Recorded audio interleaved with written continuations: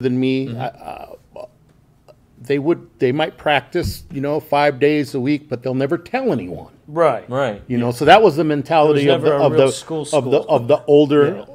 older you know older generations. That's my understanding. Okay. So See, and and that's and that's what leads me to believe that it wasn't so much that there was a real curriculum. These guys are just working on anything they try wanted. not to get hit. Yeah, just, yeah. You know, Try yeah, not and- to get hit. You hit and me in learn, the head last learn, time. learn to counter. So Yeah. I, I don't know. I, I don't know Yeah, because it, it was. I'm part of the modern modern Right. uh, Well, yeah, it- training and- curriculum. So for you in the modern training curriculum, what what is it what is it like to you now? Like what do you what do you see in reference to the art itself? Is there a set curriculum that you can follow that you can see, oh yeah, they practice the same doce pares Yes. in Europe as they do in South America as they do here in the United States or Yes, we, we, we follow, if, if, if a student walked in and signed up, mm. we'd follow, they, we would teach them the curriculum by the, by the numbers. by the numbers. Okay.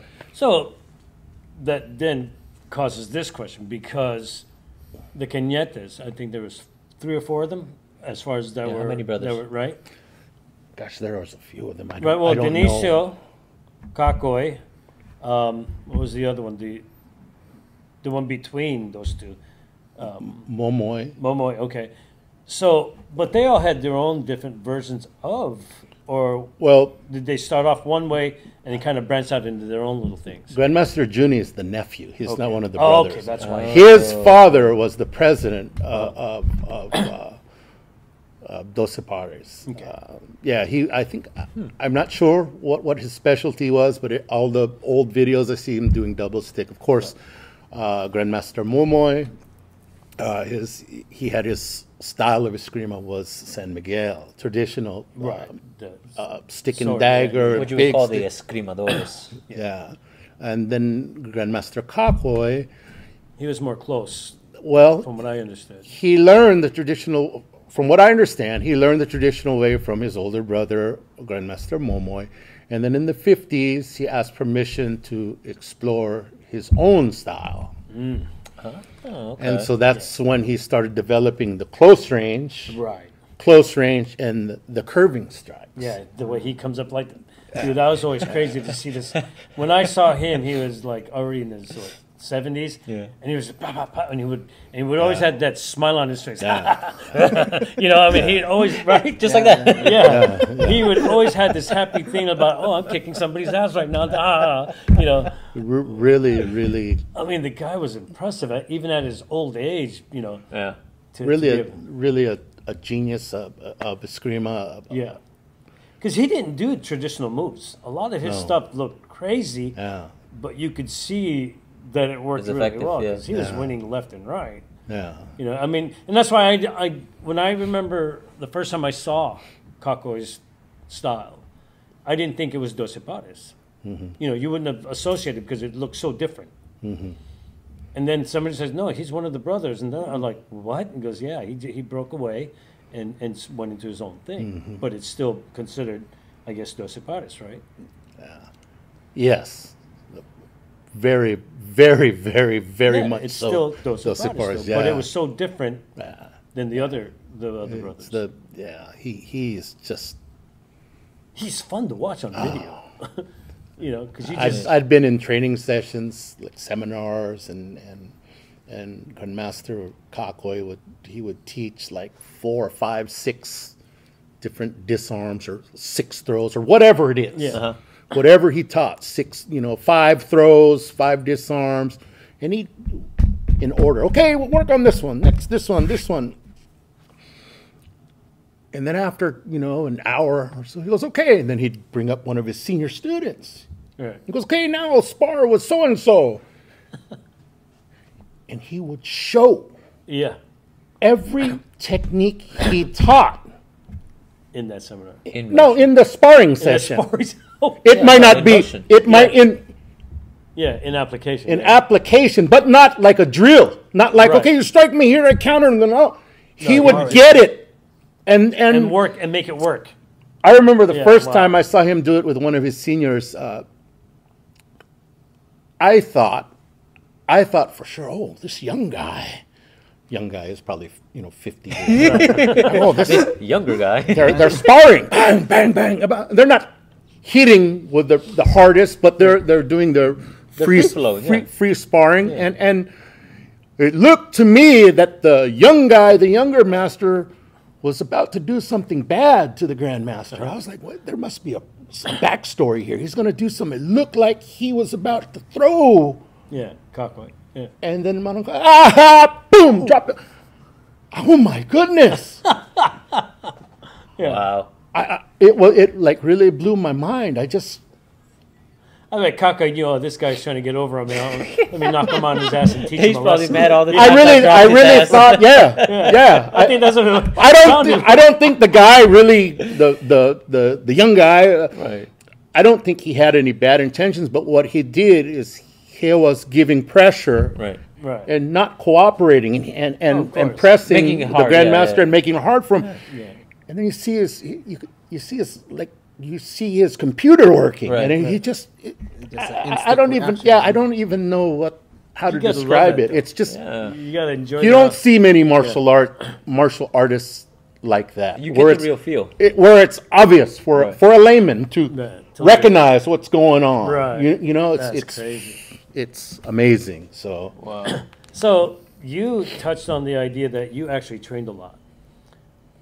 Me and I have never seen you play. yeah, You know, I mean, I see you at the gatherings and you kind of do some things, but Mm-hmm. Yeah. I've never I- seen anything he, beyond You that. demonstrated one thing, Yeah. uh, Sagang Labo, yeah, with me one time at one of the gatherings. right. So we were talking the difference between the Sagang Labo that Kakoi does versus the Sagang Labo that the other Cañete does. what is what is So going about where, where you're doing yeah. pressure, pressure Yeah. on both sides. The top, bottom. Oh, Yeah. Hi- Hayan Kulub. Is it? Yeah, Yeah, yeah, well, Hayan Kulub. call it that. Yeah, we know it as Sagang Labo. I was wait a minute, man. That sounds like a soup dish to me. I don't. I don't know. Yeah, you know, and I'll, I'll, I'll just be really upfront. I, I uh, since we started this place in in seven years ago, is it seven years now? This month, yeah. Uh, this Yeah, month, must be, seven years ago. Happy anniversary. Happy I, I really haven't been holding a stick.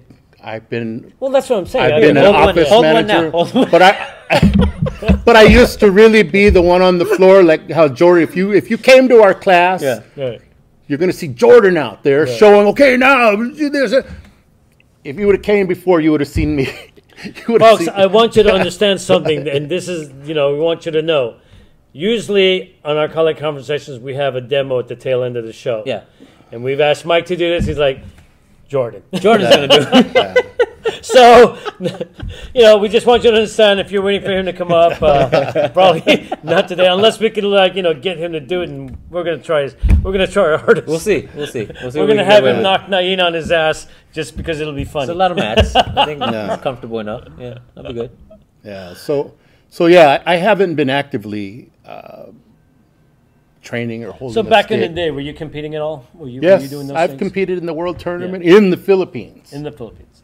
Now, there's a big difference from Philippine tournaments and U.S. tournaments. the, comp- is- the, the, the competition is strong wherever you go at a world level tournament. Yeah. But think about it. If you if you if, if we're talking judo and and and we're competing in right. where whatever name a country, but the Japanese team's not there. Then there's There's a something. difference. Well, we're still world champions if we win, but we didn't feel. face the Japanese yeah, team. they're the guys who. So if we fight at the Eskrima now, remember, man, uh, Eskrima, the Philippine team, many of them, you know, they can't afford to go compete in Germany. Right. They can't. Yeah. They can't go to you know to New York or Florida or whatever. So And they're the ones on the farm working their ass off. And so when you when you do compete at a world tournament in the Philippines, you face the local fighters. right. and they're good because they're fighting hard. They're, they want to they want to make a reputation for themselves. They want a world championship title to put in their book, and they want to, you know, Represent. They want to represent their country, but they also want to have some type of. Uh, opportunity to go abroad and maybe Right. teach or, or, or, You know, or it- maybe get sponsored to go It's um, interesting that you mentioned how the Filipinos can't afford to go to other countries to do these things. Right. Uh, most, most, no, no, no, most, and- most, and- and let me- many. I shouldn't Yeah. say most. Many cannot. and and because I agree with you with that. You know, Yeah. I, I mean, I have cousins in the Philippines, and they're not very well off. Yeah. I mean, a lot of Filipinos in the Philippines are not well off. yes. Let's be honest Yes. about that, right? Yes. I mean, the rich people are. I mean, it's like this, right? This is the rich. It's a big difference. This is the poor people, but this this is how many rich people there are. This is how many poor people there are, right? Yeah. I mean, we know that, and you go. You know, I, I remember when I first started going on, I would ask about, hey, do you know, you know, Kali, or you know anybody who can teach me? Nobody would know what it was. Yeah. They didn't even know what is that. You know, they're like, but it comes from the Philippines. Mm. But a lot of them didn't even know what it was because, from what I was told, they couldn't afford to go, anyways. You know, even if they, you know, Even if they knew about it, yeah. but you ask, oh, do you know anybody who teaches the scream out? Oh, what's that? Or do you know anybody arnis? Oh, what's that? Or is that the the stick thing? They really wouldn't know. I mean, that's the normal out there, right? Yeah. And then you know, but it was even being taught in school, but they still didn't know what it was, Yeah. which is crazy to me because wait a minute, you should have learned this in school, but you don't know what this is. Yeah, uh, the the artists I think become a PE. Right, in- in part of the. PE, right? Yeah, but I think they're only using like, you know, to like using in the dance and stuff like that. Right, you the know? exercises. They don't really. Very, very, very. I think very, very basic, basic. Yeah, basic. very training. limited. Yeah, Rudimentary. And I was also reading something uh, online or a discussion about uh, educators who actually teach, and, and they were saying that you know some of the uh, PE teachers who do that, they they go through a very short, short course Yeah, yeah. to to. So it's not even the whole y- school have- year long. no. well, it might be the whole school year, but Yeah, the, the, but the instructor, instructors the don't the PE knowledge, instructor, They don't have the real knowledge. They're not they, even. they, they, they learned a little bit in a short time and now pass it on. And there's nothing wrong with that Right. because you, you know they're doing the best they can. I'm just saying it's not yeah, they're not trained. it's not the five art years. under a microscope. Yeah, they haven't learned for five years to be able to. Yeah. They learned it like within a three week course and Yeah, said, okay, go teach. this." Maybe that's what I read. Yeah, yeah, I don't. I don't Yeah. know I don't know But that's offhand. Yeah. crazy though. Yeah. But that's what I'm saying though. it's because of that. I mean that. That um, the idea that I can't afford to learn our own national fight system because I just don't have the money or the time for it. Because I'd rather be trying to make money for the the baby family, because yeah. they need to eat and we have to feed Yep. the family and blah blah blah. That oh, that's just that's not an essential. Mm-hmm. Whereas all the other martial arts, you know, more in China, accessible. you send your kids to to a reputable school. You pay any money you have Yeah, to yeah, yeah. Yeah. to get your kids to learn this, and it, and everybody knows what Chinese kung fu or whatever it is. And. Japanese karate. Yeah, or K- Japanese, or no matter you know, even in, in other countries, you know, even in Mexico, boxing. I mean, that's become, Yeah. you know, right? Yeah, yeah, yeah. But in the Philippines, it was never really like that. Again, a lot of it was taught in the backyards and in the garages, especially you know before the seventies. Yeah. A lot of it, if you were going to learn something, you learned it from your family, your cousin, yeah, or yeah. whatever, That's true. right? So, uh, and I've always found that to be very weird, you know, or just Yes. odd. And also the the other side of that also is uh, a lot of times the people from the Philippines will embrace other arts Different arts. Yeah, taekwondo. before their own. Yeah, taekwondo Wow. was a big thing in the Philippines. Can't be any good. It's from it's from Yeah. here. Right. But that other art from there, Is, yeah. Must be, yeah. yeah. Yeah. Which is again that drives me crazy when I see that. It's like, yeah. dude, you guys got one of the richest fighting arts, and everybody um, wants to learn Filipino martial arts, but the Filipinos don't want to learn it because they Yeah. don't think it's any good. I mean, your top student's a Mexican. Yeah, he's stroking his own ego. Yeah, He stroked his own ego. yeah. On But- camera. On, On camera. camera. yeah, but yeah, but that that, that and, and it's a little sad, isn't it? It is. It's, It it's. It's very, Dude, I'm feeling It's sad very over here. That's why I had to throw un- that joke in there. Yeah, oh it's very like, oh unfortunate. Yeah, I mean, because I mean, again, until the Presas Brothers came out, Filipino martial arts was not that known. can you imagine if the people in the Philippines would rather eat spaghetti than pancit? Yeah, And everybody and everybody Yeah. who knew how to cook pancit died off, and Yeah. nobody was left to, right. you, you know. To yeah, to propagate it. Yeah, it, it's just like I said, you know, I've always, I've always wondered about that in Filipino martial arts, and that's why, uh, you know, a lot of the schools that you don't know about are so much better than the ones that are. known. That, that got me choked up. Spaghetti. now I want pancit. no, no, no, but But you're right. I, I'm not. I'm not part of the culture, and, and I've shared, you know, a big part of my life with you. So I've seen a lot of the culture itself, and and, and I do love the the arts in that sense. And to imagine that the people that it's closest to have no access to it, just it, it's a Yeah. sad. It's heartbreaking. it really is. I, I'm Yeah. I'm genuinely upset right now because Yeah. of that It's heartbreaking. yeah. and it, it's difficult but between you and maintaining that relationship even if it's just you supplying you know sticks you still maintain a relationship with the filipino people and it, it's maybe if we can industrialize the, the art a bit more then we can bring more the, well, you know what I have noticed that what's bringing out a lot of the Filipino martial arts are the American movies. Yeah. Have That's you true. that? Yeah. that's Yeah, true Bourne Identity, uh, Book of Eli. yeah. You know, uh, even 300 had Yeah. some 300, some essence yeah. of uh, yeah, they were all doing the. it's almost